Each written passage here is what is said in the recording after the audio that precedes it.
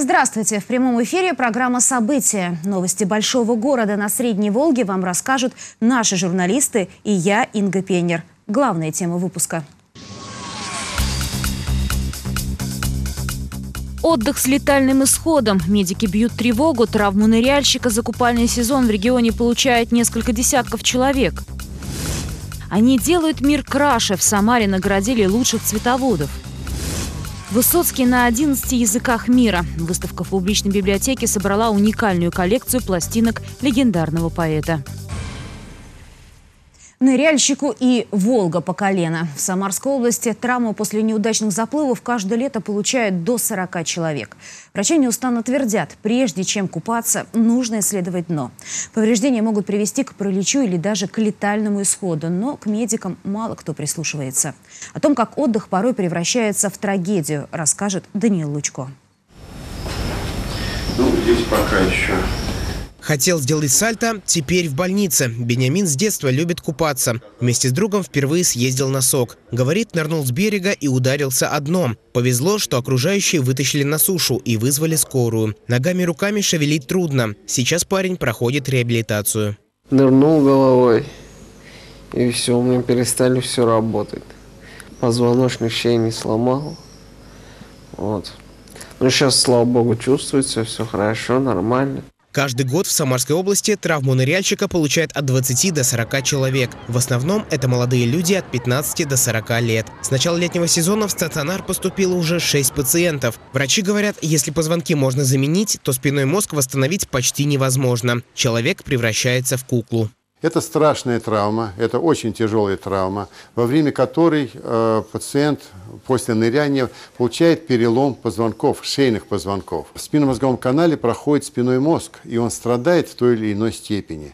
Или он, э, ушиб возникает спинного мозга, или он сдавливается, или, может, просто разрывается. И тогда у такого больного появляется симптоматика поражения спинного мозга, который заключается а, в тетрапорезе или в тетраплегии. То есть слабость в руках и ногах или отсутствие движения в руках и ногах. Половина неудачных ныряльщиков сразу тонут после удара. Еще почти треть умирает в первые дни в больнице. Медики не рекомендуют нырять в неположенных местах. Это незнакомые водоемы или там, где купание запрещено. И самое главное, перед водными процедурами ни в коем случае не пить алкоголь. Прежде чем купаться, стоит проверить дно. Даже если вы хорошо знаете место, там может оказаться препятствие. Или, например, случится отлив. Но даже если всего этого нет, правила безопасности на воде никто не отменял. Даниил Лучко, Артем Соломанов. События. Привет из Поднебесной. Самарцам дали бесплатный урок китайского языка. В роли учителей выступили специалисты первого китайского центра. Необычную акцию провели в преддверии форума «Волга-Янзы», где соберется креативная молодежь из Китая и России. А за китайской грамотой освоил и Артем Устинов. 很高兴认识你。 Всего 10 минут урока, и самарцы говорят на китайском. Среди них и Владимир Уаров. Его легко можно принять за жителя Поднебесной, но на самом деле он из Якутии. Скоро поедет в Китай учиться. Говорит, язык начал осваивать буквально сегодня. Да, только-только. Я знаю, что очень сложно будет, но за год э, люди спокойно доучиваются до HSK 4, как бы это четвертый уровень. Я думаю, я тоже смогу. На уроке, кроме языка, можно узнать много интересного. Например, китайские начальники не могут ругать подопечных прилюдно, только наедине. Знания из первых рук от специалистов китайского центра Самары. Китайский язык э, сейчас очень популярен, набирает свою популярность. Э, могу даже сказать, что в путешествиях в других странах очень много китайцев, и очень приятно с ними общаться, знает язык, используя его. 我很喜欢上海，我很喜欢中国，我很喜欢旅行。 Открытое занятие – этап подготовки к российско-китайскому молодежному форуму «Волга-Янцзы». Он пройдет на базе форума «Иволга», где будут участвовать 150 молодых людей из Поднебесной. Так что самарцы смогут практиковать китайский в живом общении. А вот с письмом сложнее. Придется выучить 3000 иероглифов. Китайская грамота и впрямь сложна для освоения. Но можно начать ее изучение хотя бы собственного имени. Надо сказать, что на китайском имя Артем выглядит довольно причудливо. Ну, впрочем, как и имя Максим. Артем Устинов, Максим Гусев. События. Это они раскрашивают мегаполис яркими красками. В Самаре наградили лучших флористов. Для них создавать уникальный ландшафтный дизайн не тяжелая обязанность, а дело души и настроения. А люди, которые украшают город прямо под своими окнами. Репортаж Андрея Горгуленко. Сейчас клумбы и цветники во дворе дома номер 88 по улице Димитрова привычны для жителей. А 7 лет назад семья Таисии Хлопушиной была единственной, кто пытался навести красоту у подъезда. Но со временем жители дома стали замечать, двор становится чище и ярче, и стали помогать. Кто-то сам выходит с инструментами, кто-то покупает саженцы. Традицию украшать газоны у подъездов подхватили и соседние дома. Глядя на нас, уже близлежащие дома тоже. Много очень людей – все мы здесь старшие близлежащих домов знаем друг друга, и все уже начинают тоже наводить порядки на своих газонах, в своих дворах. Теперь в промышленном районе цветоводов стало так много, что между ними стали проводить конкурс. Только в одном микрорайоне Приволжский-2 нашлось 25 лучших жителей, которые высаживают герани, гортензии и пионы под своими окнами. Лучшим цветоводам вручают грамоты и, конечно же, приятные и полезные подарки от администрации района. По заявкам жителей районные власти всегда готовы прийти на помощь. Администрация, в принципе, работает постоянно э, в связке в тесной. Жители делают заявки, какие там ему необходимо, что им нужно. И по мере возможности администрация выполняет их требования. Вот в прошлом году вот делали площадку детскую, сделали ограждение как раз вот приусадебных участочков около домов. А, сейчас вот ждем землю, должны привезти. Но награждение это не главное, признаются цветоводы. Важнее всего на таких встречах это рассказать о своем опыте, спросить советы у других и поделиться семенами красивых цветов, а также сдружиться и всем вместе спеть любимые песни.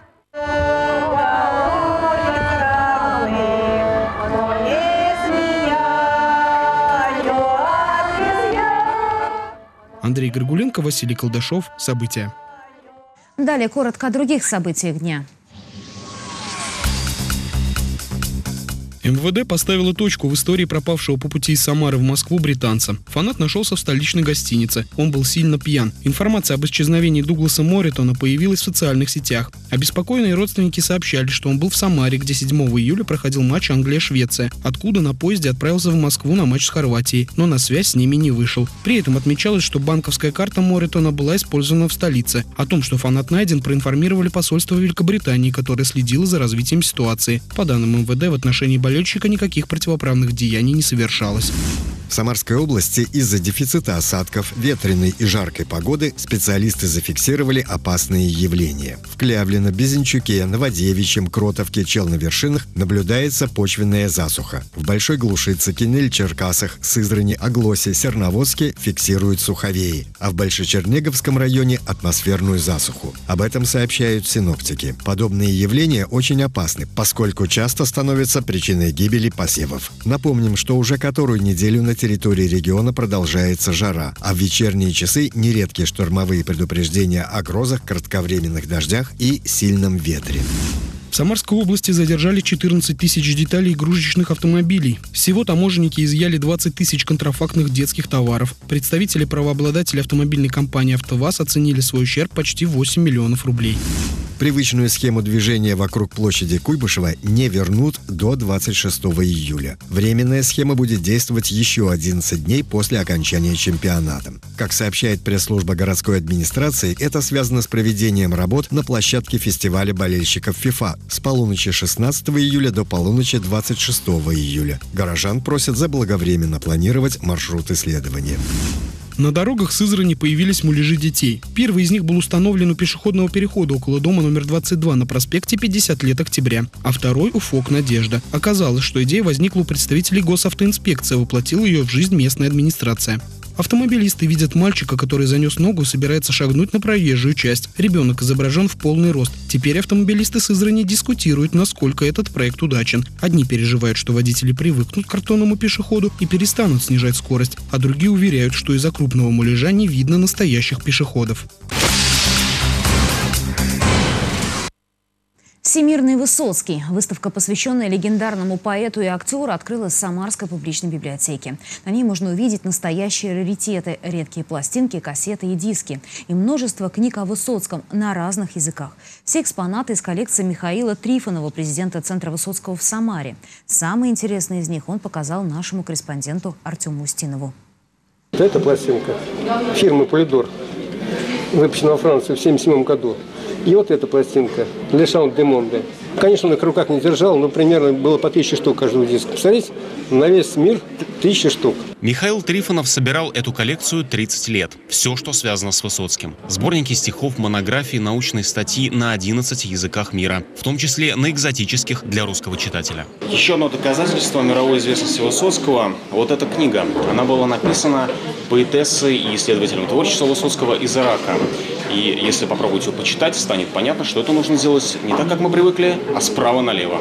Ну, конечно, если вы знаете курдский язык. Вещи уникальные, а каждый Михаил Трифонов может рассказать целую историю. Натянутый канат записали во Франции. Сутки не выходили из студии, ведь компьютеров тогда не было. Михаилу повезло и услышать Высоцкого живьем на знаменитом концерте во Дворце спорта в 1967 году. Я помню, как, как зритель, как мы его ждали целый час, когда он поезд опоздал, Южный Урал на целый час. Люди сидели, в дыхании. Муха пролетит, и то было слышно. И вдруг выскочил Высоцкий, боковые прожектора разожглись. Он извинился, поклонился и начал песню с братских могил своих песен.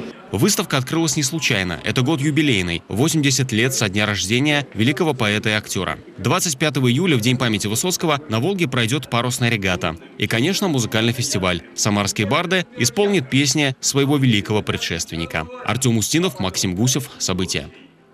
Архитектор и художник в одном лице. В Самаре в рамках проекта «Модерн в облаках» проходит выставка рисунков. На них представлено 18 знаковых для Самары и модерна особняков. И все в разных концепциях. Даниил Лучков встретился с победителями конкурса.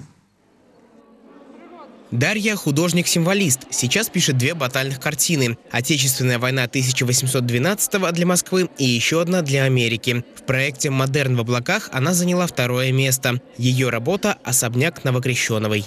Здание, в принципе, изначально было покрашено достаточно в светлый цвет, яркий, желтый, желтый с белым. Белые это цветы были обозначены желтый само выкрашено здание. Соответственно, я выбрала эти цветовые пятна и само небо синее. Синий и желтый очень хорошо сочетаются. Выставка стала итогом самарского проекта «Модерн в облаках». 80 художников, больше 150 работ. И только 30 лучших стали победителями. Главное правило – нарисовать скетч за 4 часа. На выбор участникам предлагалось 18 домов, представителей архитектурного стиля. Критерий всего один – рисунок должен максимально выражать атмосферу модерна, при этом не уходить далеко от современности. Они разные работы. Есть работы достаточно классицистические, прям архитектурные такие, как бы графика такая. А есть настолько живые и э, такие экспрессивные, активные, как, как и сам стиль, и как ощущение чемпионата, как ощущение жизни вокруг, как вот ощущение вот, ну, какой-то какой-то бурлящей свободы вокруг. Вот, э, вот это очень ценно. Посмотреть на работы можно будет в областном художественном музее. Выставка продлится до 17 июля. Даниил Лычко, Константин Головин. События. Это далеко не вся картина дня, и вот о каких событиях наши журналисты готовы рассказать в следующих выпусках. Куда смотрят родители? В Самаре за полтора месяца из окон домов выпали 10 детей. День металлурга на металлурге. Глава региона приехал на завод «Арконик». Самарскому водопроводу 132 года. В городе открылся уникальный музей истории создания водопроводной сети. А наш выпуск на этом завершен. Мы рады вам сообщить, что у нас уже более 18 миллионов просмотров на YouTube. Читайте нас в Твиттере, смотрите на экранах своих смартфонов и планшетов на базе Android и iOS. Удачи вам. Увидимся. Thank you.